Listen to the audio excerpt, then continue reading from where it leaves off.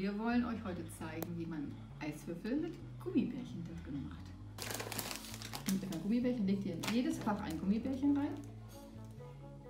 Und dann gucken wir, wenn wir das eingefroren haben, morgen, ob das schon fertig ist, dann dürft ihr euch die Eiswürfel in eure Wassergläser reintun. So, jetzt dürft ihr da ein bisschen Wasser reingießen. Überall versucht es mal so voll zu machen, wie es geht.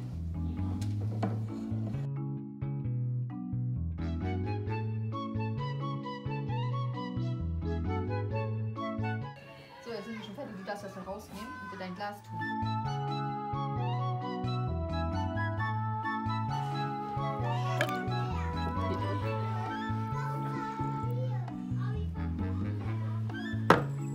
Eiswürfel.